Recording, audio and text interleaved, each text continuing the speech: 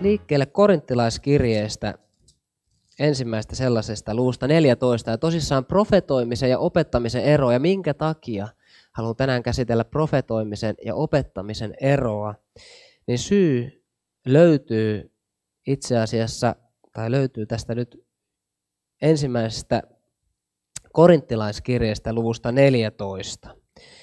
Tai oikeastaan sanotaan näin, että syyn ensimmäinen pala. Eli täällä Paavali, mä itse asiassa luen nämä jakeet 1-5. Tavoitelkaa rakkautta ja pyrkikää innokkaasti saamaan hengellisiä lahjoja, varsinkin profetoimisen lahjaa. Ja tämä kehotus on nyt siis koko seurakunnalle. Kielellä puhuva ei näe puhu ihmisille, vaan Jumalalle. Häntä ei ymmärrä kukaan, sillä hän puhuu salaisuuksia hengessä. Profetoiva sen sijaan puhuu ihmisille rakentumiseksi, kehotukseksi ja lohdutukseksi. Kielellä puhuva rakentaa itseään, mutta profetoiva rakentaa seurakuntaa. Tahtoisin kaikkien puhuvan kielillä, mutta vielä mieluummin tahtoisin teidän profetoivan. Profetoiva on suurempi kuin kielellä puhuva, ellei tämä samalla selitä niin, että seurakuntakin rakentuu. Eli nyt lähtökohtaisesti, niin kuin täällä jo aikaisemminkin on tuonut esille näissä opetussarjoissa, että profetoiminen on jotain sellaista, mitä Paavali kehottaa ensinnäkin tavoittelemaan. Ja hän toivoisi, että koko seurakunta, että kaikki voisi profetoida. Ja syy tähän on se, koska profetia rakentaa seurakuntaa. Ja se lohduttaa seurakuntaa ja se kehottaa seurakuntaa.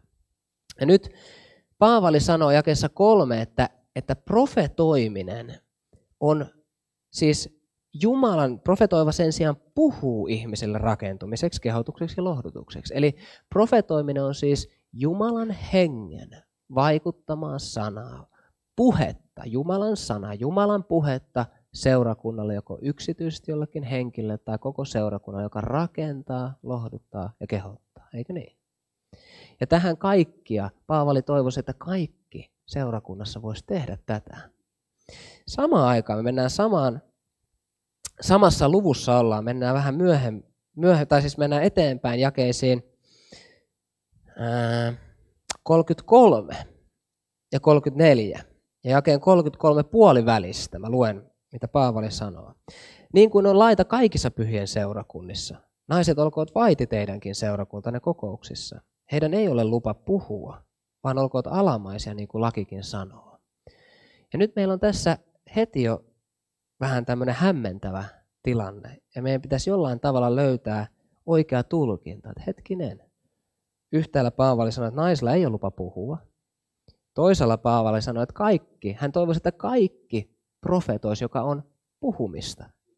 Eikö niin? Jumalan hengen vaikuttamaa puhumista.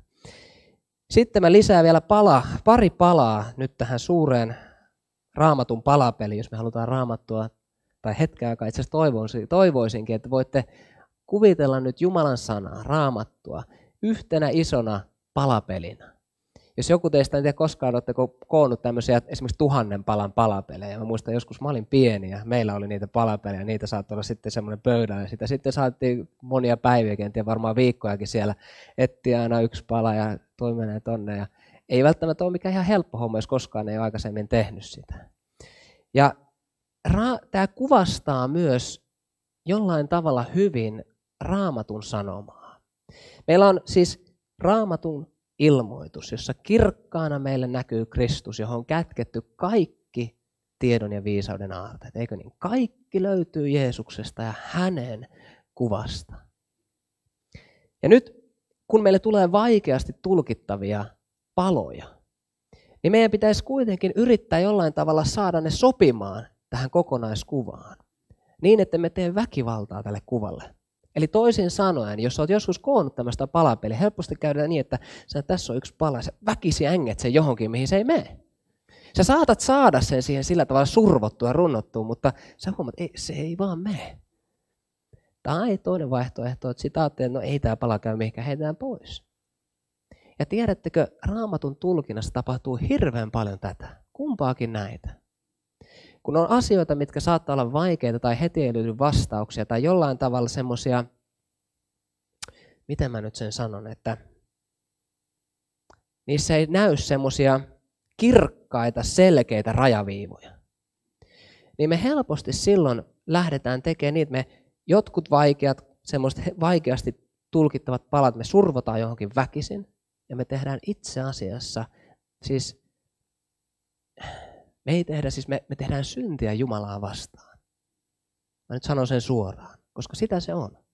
Jos me yritetään väkisin survoa joku väärä pala semmoiseen paikkaan, missä Jumala ei sen halua olevan, hänen kokonaisilmoituksen valossa, tai sitten me ikään kuin jätetään pois. Mä ajattelin, että no ei, sillä, ei se ole niin tärkeä pala. No niin, Timoteuskirjeessä sitten Paavali jatkaa. Paavali sanoo myös toisessa ensimmäisessä Timoteuskirjeessä, naisen tulee, sitä en salli, että nainen opettaa, enkä sitä, että hän vallitsee miestä, vaan hän tulee elää hiljaisuudessa. Eli mä lisään nyt yhden palan tähän, mikä liittyy nyt tähän samaan kokonaisuuteen. Ja sitten kuitenkin Tiitukselle myös Paavali sanoo toisaalta taas, että vanhojen naisten tulee olla sellaisia, jotka pystyy myös nuorempia naisia opettamaan. Mä en tiedä, mikä käännös sulla löytyy, mutta esimerkiksi mulla on raamattu kansalle käännös, jos otat Tiituskirjeen sieltä luku 2 ja 3, täällä sanotaan näin, että vanhojen naisten tulee samalla, samoin olla käytökseltään niin kuin pyhien sopii. He eivät saa olla panettelijoita, eivätkä paljon viinin orjia, vaan sellaisia, jotka neuvovat hyvään. Kreikassa sanotaan hyvän opettajia, ja toiset käännökset itse asiassa kääntääkin sen niin, eli hyvän opettajia. Ja sitten Paavali jatkaa, näin he voivat nuor, ohjata, nuoria vaimoja rakastamaan miestään ja lapsiaan, olemaan siveitä ja puhtaita, hoitamaan hyvin kotinsa, olemaan hyviä, olemaan hyviä ja omalle miehelleen alamaisia, ettei Jumalan sana tulisi pilkatuksi. Ja nyt tämän opetuskerran tarkoitus on yrittää, tai sen armon ja viisauden mukaan, joka Jumala on minulle antanut, mä haluan asettaa nämä palat nyt tähän suureen palapeliin ja jätän teille koeteltavaksi nyt sen, että meneekö ne oikeille paikoille. Ja tosissaan mä lähden liikkeelle nyt profetoimisesta, koska itse asiassa mä itse näen, että koko tämä, jos voi sanoa vyyhti, tai kaikki nämä palat alkaakin avautua ja näyttää meille oikeaa paikkaa nimenomaan profetoimisen kautta, kun me lähdetään ensin tarkastelemaan sitä, että mitä raamatullisesti profetia voi olla. Eli mitä kaikkea on se Jumalan hengen vaikuttama puhuminen, joka rakentaa, lohduttaa ja rohkaisee seurakuntaa. Ennen kuin mä menen varsinaisesti nyt tarkastelemaan niitä, niin mä menen apostolien tekoihin. Ja mä otan sieltä luvun kaksi. Ja täältä me nähdään yksi tärkeä huomio, mikä liittyy profetoimiseen. Ja tämä on tärkeä huomio nyt suhteessa opettamiseen ja profetoimisen ja opettamisen eroon. Tuttu profetia teille kaikille. Luku 2 ja 17. Viimeisinä päivinä on tapahtuva, sanoo Jumala, että minä vuodatan henkeni kaiken lihan päälle.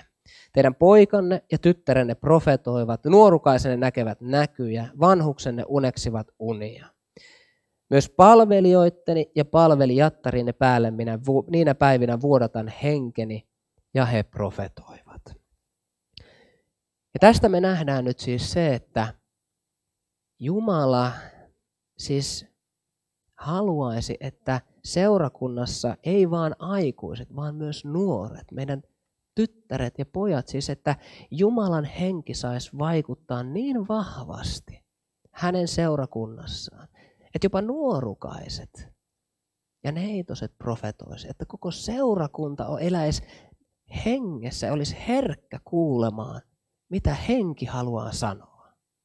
Ja olisi myös alttiutta silloin, kun Herra haluaa jonkun meistä kautta jotain puhua, niin tuoda se myös seurakunnalle koeteltavaksi. Ja me nähdään tästä myös se, että profetoiminen, koska sitä voi siis kaikki aina nuorista vanhoihin saakka tehdä. Nuoret naiset, nuoret miehet, naiset ja miehet ja vanhukset ja mummot ja papat, kaikki voi tehdä. Niin se ei ole siis sidottu myöskään auktoriteettiasemaan suhteessa seurakuntaan, eikö niin? opettaminen puolestaan raamatussa on sidottu auktoriteettiasemaan suhteessa seurakuntaan. Tämä on tärkeä ero, mä menen kohta vähän tarkemmin tähän, mutta nyt halusin vaan tuoda tämän lähtökohdan, että me nähdään selvästi raamatusta, että siis sekä vanhassa että uudessa testamentissa profetia ei ole koskaan ollut sidottu auktoriteettiasemaan suhteessa seurakuntaan. Sitten meidän tarkastelee vähän Luukkaan evankeliumista. Nyt, tai itse asiassa mä lähden liikkeelle ensimmäistä aikakirjasta. Eli millä, mä otan nyt joitakin esimerkkejä, nyt nämä on vaan, mä otan kolme esimerkkiä. Nyt haluan painottaa sitä, että tässä ei, mun tarkoitus ei ole antaa mitään tyhjentävää nyt listaa tai esimerkkejä, millä tavalla profetian armolahja toimii. Mutta jollain tavalla semmoista ehkä nyt suuntaviivat, pääuomat raamatullisesti, että millä tavalla Jumalan profetaalinen henki toimii seurakunnassa. Tai millä tavalla uskon itse, että Jumala haluaisi hänen profetaalisen henkensä toimivan. Haluan tässä kohti myöskin vielä tuoda sen, että, että profetia itsessään on jo niin laaja käsite raamatussa, että senkään takia niin, niin missään tapauksessa – nyt kaikki nämä esimerkit, mitä käy, niin ei ole mitään tyhjentäviä profetiaselityksiä. Okei, eli ensimmäinen aikakirja, luku 25. Sieltä jakeesta yksi meillä kerrotaan yksi hyvinkin merkittävä henkilö raamatusta, nimittäin Aasaf. Ja meille kerrotaan, mikä oli Aasafin tehtävä, joka eli siis kuningas Daavidin aikaa. Ensimmäinen aikakirja, luku 25, jakeesta 1 ja 2. Daavid ja sotapäälliköt erottivat palvelukseen Aasafin, Heemanin ja Jedutunin pojat, joiden tuli profetaalisessa hengessä soittaa lyyroilla, harpuilla ja symbaaleilla. Seuraavassa luetellaan palveluksessa olleet miehet. Aasafin poikia olivat Sakkur, Joosef, Netania ja Asa, Asarela. Heitä johti Aasaf, joka profetaalisessa hengessä soitti kuninkaan antamien ohjeiden mukaan. Ja nyt jos olet psalmeja lukenut, toivottavasti kaikki täällä on lukenut psalmeja, niin huomaat, että sieltä psalmista 73, missä alkaa psalmien kolmas kirja, psalmit on jaettu viiteen eri kirjaan, niin alkaa Aasafin psalmit. Eli tämän kyseisen saman Aasafin psalmit, jotka, joka eli siis Daavidin aikaan, ja jonka tehtävä oli palvella siellä temppelissä, siis laulaen profetaalisessa, siis hengessä, ylistää, laulaa ja soittaa Jumalalle. Ja niin kuin me nähdään psalmeista, suuri osa psalmeista on lauluja. Ne on profetia, ne on syntynyt profetaalisessa hengessä. Ja Jumalan pyhät ovat niitä lauluja, David ja Aasaf ja niin edelleen. Ja uskon itse, että tällä samalla tavalla Jumala haluaisi tänä päivänäkin toimia hänen seurakunnassaan. Tarkoitan tällä sitä, että kun me kokoonnumme yhteen, niin kenties Jumala antaa jollekin meistä esimerkiksi jonkun laulun sanat sydämelle. Jaettavaksi seurakunnalle. Se on profetaalisessa hengessä joku laulu, mikä tulisi, minkä Jumala haluaa puhua kenties jollekin, jollekin murheelliselle yksilölle tässä seurakunnassa tai koko seurakunnalle lohdutukseksi tai rohkaisuksi tai kehotukseksi. Ja sen takia meillä tulisi olla myös tilaa seurakunnassa tällaiselle. Seurakuntarakenteiden ei koskaan tulisi mennä sellaisiksi, että pyhällä hengellä ei ole tilaa toimia silloin, kun hän haluaa. Ja tiedättekö, jos me suunnittelemme kaikki tarkat, näin mennään täällä, nyt on kolme laulua, ei ole mitään väärää suunnitella, että on kolme laulua ja neljä laulua. Mutta silloin, kun se sulkee pois sen, että joku kokee, että hei, nyt, nyt Jumala antoi mulle sydämelle, että voitaisiko me soittaa, tai vois mä esittää teille tämän laulun. Mä koen, että Jumala antoi. Ja tiedättekö, mistä se seurakunta tunnistaa, onko se Jumalasta? Hengessä valtava seurakunta tunnistaa profetian, todellisen profetian siitä, että se rakentaa, se lohduttaa, se kehottaa. Se osuu aina oikeaan paikkaan. Koska profetia on aina, jos mä nyt jollain tavalla, se on, se on aina täsmäiskuja. Profetia on aina kyseiselle joko seurakunnalle tai yksilölle oikeaan aikaan, oikeaan, oikeassa paikassa, tuore Jumalan sana. Tiedättekö, te tunnistatte todellisen profetaalisen hengen siitä, että se on aina tuoretta. Se ei koskaan eilistä tai viikko sitten pureskeltu. Että kun usein kun on itse istunut jossain penkissä kuuntelemassa, mä en halua millään tavalla nyt ketään osoitella tai muuta, mutta tiedättekö, hengessä joskus kokee, että tässä ei ole tuoretta. Tai jotain eilispäivän ruokaa. Ja mä uskon itse, että profetaalisuus, todellinen Jumalalta tullut profetaalisuus ei koskaan eilispäivän ruokaa. Se on aina tuoretta.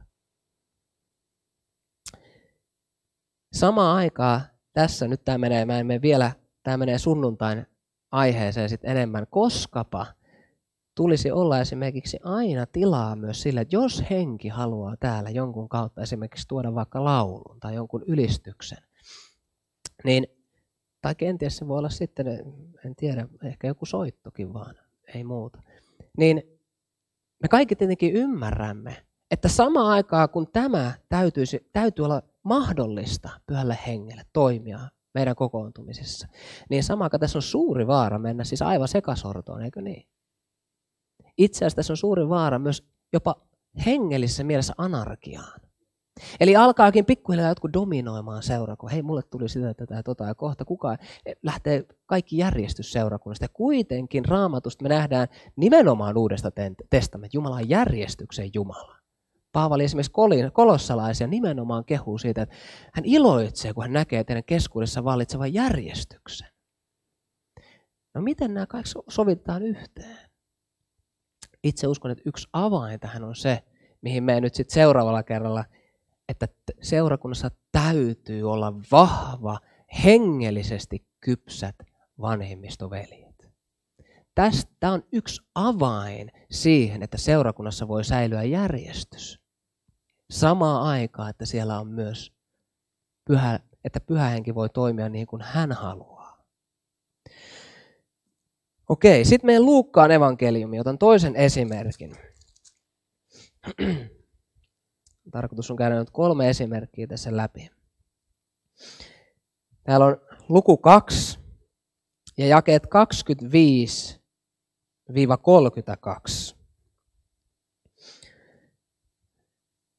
Täällä meille puhutaan ja meille kerrotaan Simeonista. Te muistatteko Simeonin, vanha mies ja hurskas mies Jerusalemissa oli mies, jonka nimi oli Simeon, jakeesta 25. Tämä mies oli hurskas ja Jumalaa pelkäävä. Hän odotti Israelin lohdutusta ja pyhä henki oli hänen päällään. Nyt huomatkaa tämä jae 26. Pyhä henki oli ilmoittanut hänelle, ettei hän näe kuolemaa ennen kuin hän on nähnyt Herran voidellun. Hän tuli hengen vaikutuksesta temppeliin ja kun vanhemmat toivat Jeesuslasta sisälle tehdäkseen hänelle niin kuin lain mukaan oli tapana, hän otti lapsen syliinsä, ylisti Jumalaa ja sanoi, Herra, nyt sinä päästät palvelisi rauhassa menemään, sanasi mukaan. Sillä minun silmäni ovat nähneet sinun pelastuksesi, jonka olet valmistanut kaikkien kansojen nähtäväksi, valoksi, joka ilmestyy pakanoille ja kirkkaudeksi kansallesi Israelille. Ja nyt palaan jakeeseen 26. Eli meillä on siis vanha mies, Kenties tämän Kaima Juhanin ikäluokkaa jo siellä tai vanhempi. Hän on koko ikänsä odottanut luvattua Messiasta. Hän tuntee Danielin kirjan profetiat, jossa annetaan tarkat ajankohdat, milloin pitäisi Messiaan syntyä. Hän odottaa ja hän on saanut valtavan armon Jumalalta, kun pyhä henki on ilmoittanut hänelle, että hän ei tule näkemään kuolemaa ennen kuin hän näkee Herran voidellun. Tätä samaa itse ajattelen, että siis meidän ajassa jollain tavalla auttaa ymmärtämään minua, miten suuresta armosta on kysymys, kun et jollekin meistä pyhä henki sanoi, sinä et tule näkemään kuolemaa ennen kuin Herran päivä koittaa. Et tästä oli kysymys Simeonilla. Näin valtavan armon hän sai. Ja tiedättekö, minä luulen tietäväni, minkä profetaalisen sanan Jumala antoi Simenille. Se löytyy psalmista 91. Kääntäkää psalmi 91. Nyt muistakaa, kun Jumalan henki antaa meille sanaa, hän tekee tietenkin sen hänen Jumalan sanan kautta, eikö niin? Profetia ei koskaan ole erotettu Jumalan tahdosta ja Jumalan sanasta. Ja kuulkaa, mitä sanotaan psalmissa 91 jakeessa 16. Minä tyydytän hänet pitkällä iällä ja suon hänen nähdä valmistamani pelastuksen. Tiedättekö, itse uskon, toki tämä on minun tulkinta, mutta uskon, että tämä oli se sana, jonka pyhä henki antoi erityisesti Simonille. Simeonille, anteeksi. Ja jonka kautta pyhä henki erityisesti nyt rohkaisi ja lohdutti Simeonia. Ja näin me siis nähdään, että mä en tiedä onko sulla, mulla elämässä itsellä on itse asiassa kaksi erityistä, mikä mulla on vahvasti jäänyt mieleen, missä Jumalan henki on antanut minulle profetaalisen sanan tällä samalla tavalla, miten uskon, että hän antoi Simeonille profetaalisen sanan. Eli toisin sanoen, on lukenut jotain raam tekstiä tai, tai sitten en lukenut, vaan Jumala on johdattanut minut. Ja yhtäkkiä joku raamatu ja joku Jumalan rohkaisu, kehotuksen tai lohdatuksen sana tulee niin voimallisesti mun sydämelle, ja mä tiedän, nyt Pyhä Henki puhui juuri minulle tämän sanan, jotain tiettyä tarkoitusta varten. Mulla on kaksi itsellä tämmöistä, mitkä mulla on vahvasti jäänyt mieleen. Yhä edelleen näistä sanoista en niitä jaa nyt teille täällä, koska ne on minulle hyvin rakkaita henkilökohtaisia sanoja Herralta, mutta pidän niistä kiinni yhä edelleen. Ne on mulle todella rakkaita ja uskon, että ne on semmoisia, mitkä kantaa minua aina loppuun saakka.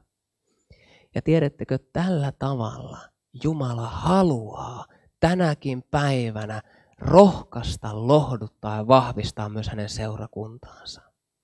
Tiedättekö, tämän takia profetian lahja on niin tärkeä seurakunnassa. Ja minkä takia Jumala halusi kaikki meistä, että me elettäisiin hengellisesti herkässä tilassa. Että me oltaisiin lähellä Jumalaa meidän jokapäiväisessä arjessa ja elämässä, että me opittaisiin kuulemaan hänen äänensä. Mitä hän haluaa puhua. Ja että me tultaisiin opittaisiin. Tiedätkö, tämä ei ole sellainen asia, mikä yhtäkkiä vaan tulee, vaan tähän opitaan kuulemaan, mitä henki puhuu. Siinä tehdään myös virheitä, mutta me opimme virheiden kautta. Ja tiedättekö, miten siunattu on olla sellaisessa pyhien kokouksessa, jossa tämä lahja, profetian lahja toimii niin, että sieltä tuntuu, että sieltä vaikea lähtee ilman, että Jumala on rohkassut, lohduttanut tai vahvistanut tai kehottanut. Sen takia mä haluan myös teitä rohkaista. Kaikki lähtee siitä. Kaikki lähtee rukouskammiosta. Kaikki lähtee siitä, että te vähennätte hälinää teidän elämässä ja enemmän hiljaisuutta Jumalan kanssa. Koska tiedättekö, se ei mene niin, että te hä- elätte kaiken hälinän keskellä viikkoa, sitten tuutte sunnuntain tänne ja ajattelette, että nyt profetia alkaa, lahja alkaa toimimaan. Se ei mene niin. Meidän täytyy etsiä Herran kasvoja, viettää hänen kanssaan aikaa, jotta me voidaan myös seurakunnan kokouksissa olla herkällä hengellä ja, ja kenties saada se armo, että meidän kautta Jumala haluaa jotain tuoda seurakunnalle. Me voidaan tuoda se koeteltavaksi ja jaettavaksi. Haluan ottaa vielä tähän ilmestyskirjan seurakunnat. Meillä on seitsemän seurakuntaa ilmestyskirjassa. Efesoksen seurakunta ja sitten tulee Smyrna ja sitten on Pergamonin seurakunta ja Tyatiran seurakunta ja sitten tulee Sardeksen ja Philadelphia ja Laudikean seurakunta. Seitsemän eri seurakuntaa. Ja Jumala puhuu profetaalisen sanan jokaiselle näistä seurakunnista. Ja olette varmasti lukenut nämä profetaaliset sanat. Ne kaikki oli räätälöityjä sanoja kyseiselle seurakunnalle. Jumala ei puhunut kahta samanlaista sanaa näille seurakunnille, vaan kaikissa oli juuri sille kyseiselle seurakunnalle kyseisen seurakunnan tilanteeseen, oli sitten kehuja tai nuhdetta tai molempia, se oli aina täsmäosuma, tuore sana ja räätälöity juuri sille seurakunnalle. Ja tämä on tärkeää sen takia, että itse ajattelen, että meillä tulisi olla myös sellainen tai ymmärrys siitä, että se mitä Jumala haluaa puhua tässä seurakunnassa, niin hän ei välttämättä ollenkaan halua sitä puhua esimerkiksi Saalemissa tai lähetysseurakunnan tai Iso-Robertin kadulla. Hän haluaa puhua tälle seurakunnalle sen, mitä henki puhuttavaksi antaa.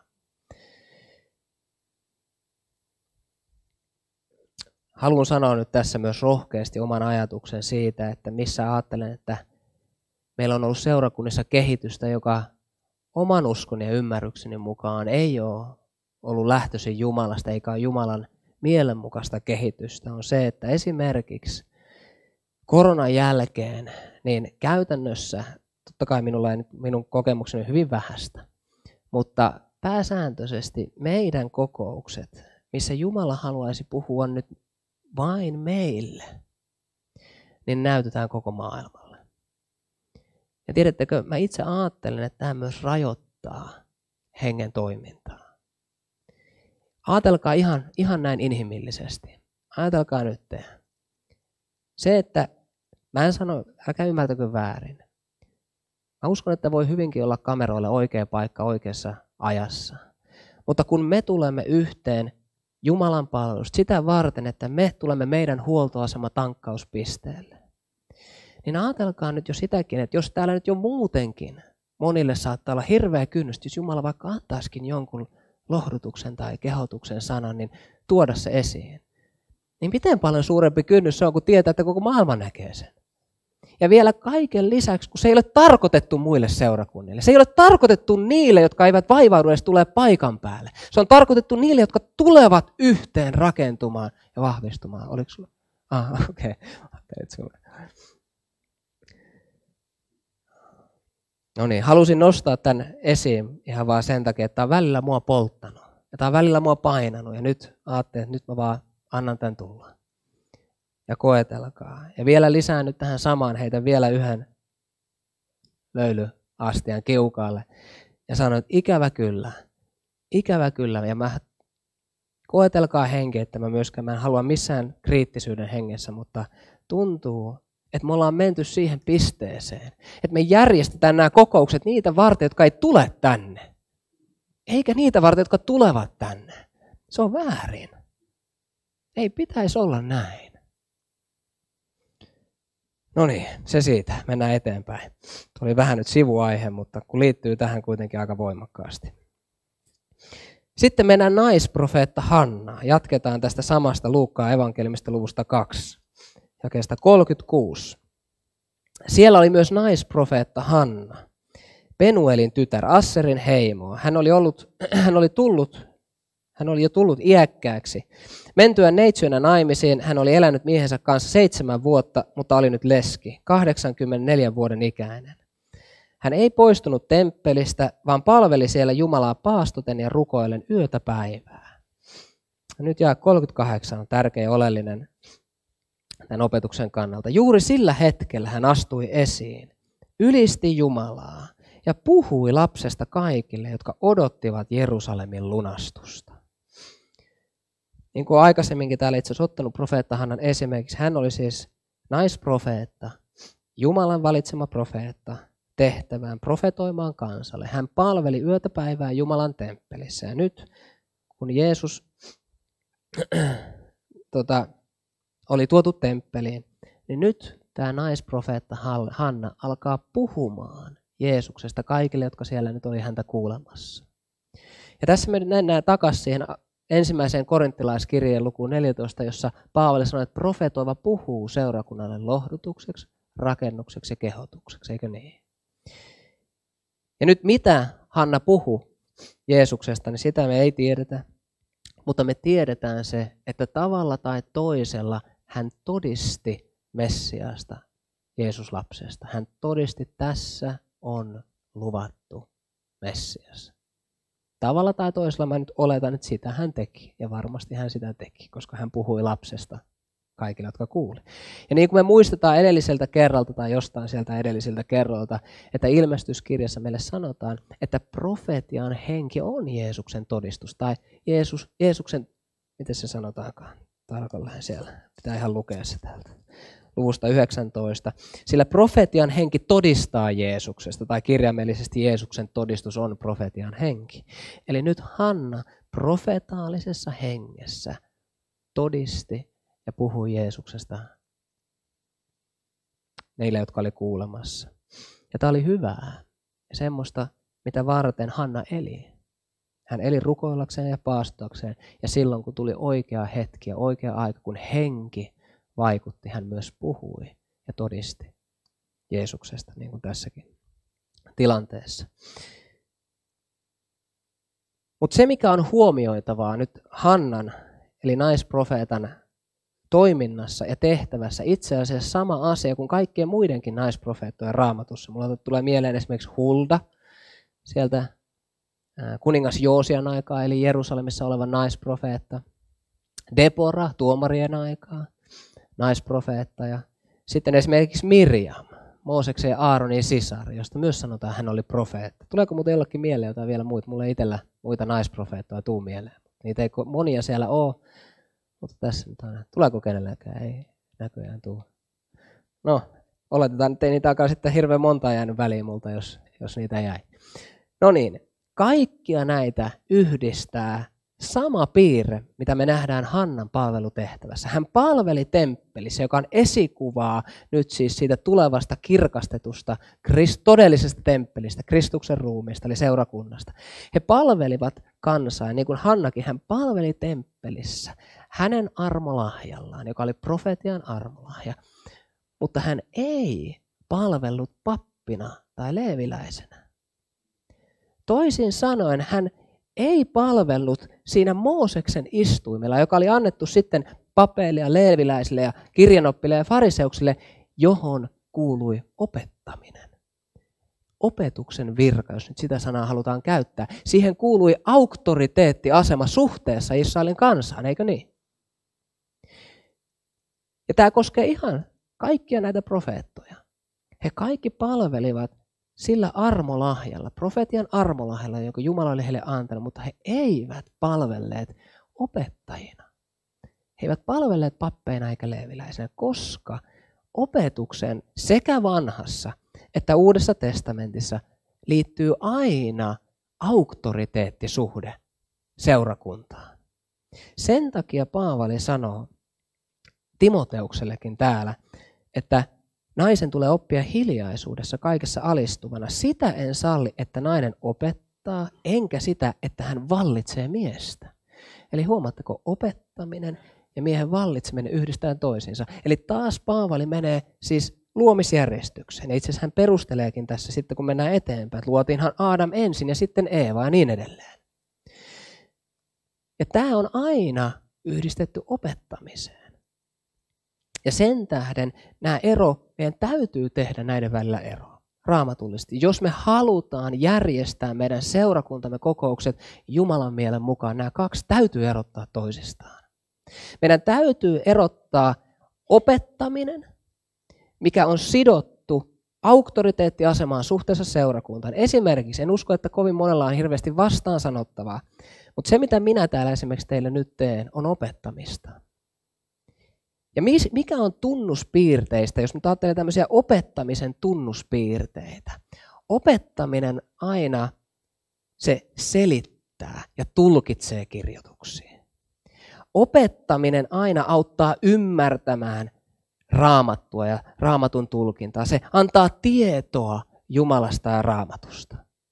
Ja tämä istuin annettiin Moosekselle. Sen jälkeen sitten tietenkin sitten lainoppille ja niin edespäin.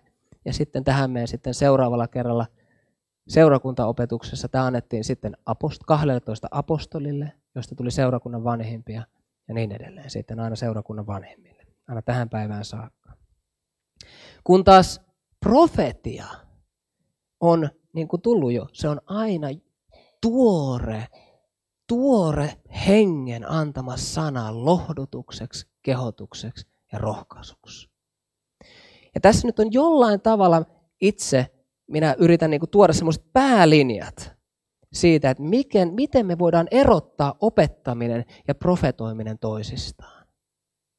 Ja sitten tietenkin se, että opettaminen aina tapahtuu myös, siinä tulee, missä se raja aina menee, sit itse en tiedä sitä rajaa, mutta, mutta kuitenkin selvästi opettaminen aina, siinä tulee aina se auktoriteetti suhteessa seurakuntaan. Ja sen takia opettaminen ei ole naisille luvallista seurakunnassa, koska se tapahtuu myös suhteessa miehiin. Koska seurakunta muodostuu miehistä ja naisista ja lapsista. Ja jos näin on, niin silloin se rikkoo taas Jumalan luomisjärjestyksen. Ja sen takia nyt itse, kun yhdistän näitä paloja yhteen, niin mä alankin huomata, että hetkinen, näähän käy kaikki yhteen Jumalan kokonaisilmoituksen valossa ja kanssa. Sitten kuitenkin haluan vielä nostaa samaan hengenvetoon sen, että myös naisille, mihin viittasinkin tuolla alussa jo, myös opetuksella on paikkansa naisten elämässä ja seurakuntaelämässä. Koska niin kuin luen uudestaan tämän jakeen, vanhojen naisten tulee samoin olla käytökseltään niin kuin pyhien sopii.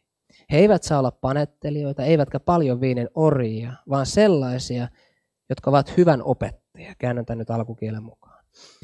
Näin he voivat ohjata nuoria vaimoja rakastamaan miestä ja lapsia, olemaan siveitä ja puhtaita, hoitamaan hyvin kotinsa, olemaan hyviä omalle miehelleen, ala, olemaan hyviä ja omalle miehelleen alamaisia, ettei Jumalan sana tulisi pilkatuksi. Eli nyt me menemme tässä kohdassa, me siirrymme yleisen pappeuden piiriin, joka koskee meitä kaikkia.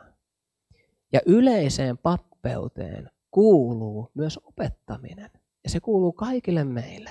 Toisin sanoen, kaikkien meidän, jotka olemme hengellisesti pidemmällä, tulisi olla hyvän opettajan, jumalisuuden opettajia niille, jotka ovat hengellisesti meitä jäljessä, jotka eivät ole vielä tulleet niin pitkälle kuin me.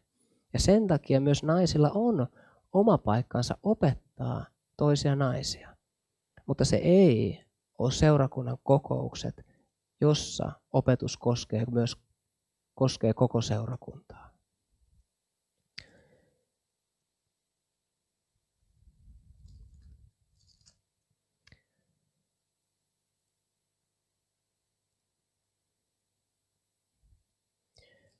Mä itse asiassa luulen, että mä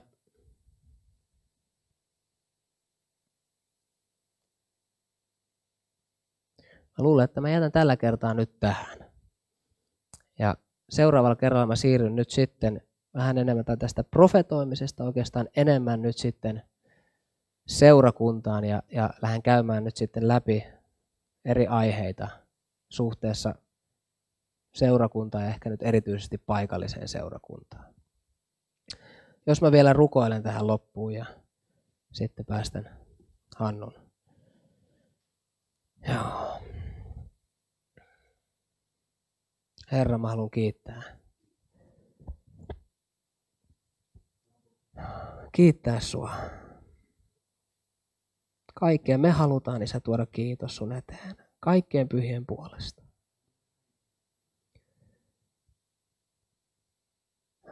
Voi Isä, mä pyydän sitä, että sä voisit, Herra, meidät seurakuntana uudistaa ja meillä kaikilla ja mä uskon, Isä, että sä haluat tehdä työtä sun jokaisessa seurakunnassa. Sä haluat uudistaa, sä haluat, Herra, palauttaa meidät ennalleen.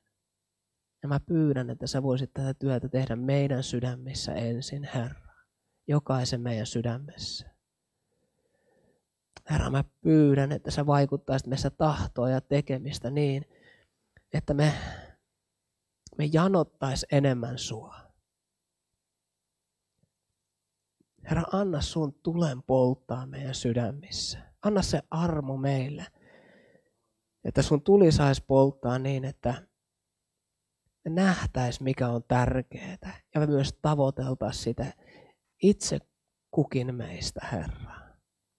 Mä pyydän, että sä viet meissä, jos sä oot aloittanut sun hyvän työn, vie se Herra meissä päätökseen. Että me opittais kuulemaan myös sun ääntä ja Herra, vietettäisiin sun kanssa enemmän aikaa, sillä meillä kaikilla, mä uskon, että on täällä siinä myös, Herra, enemmän tai vähemmän suunnanmuutosta ja parannuksen tekemistä. Herra, jää siunaamaan meitä kaikkia. Kiitos sun armosta. Amen.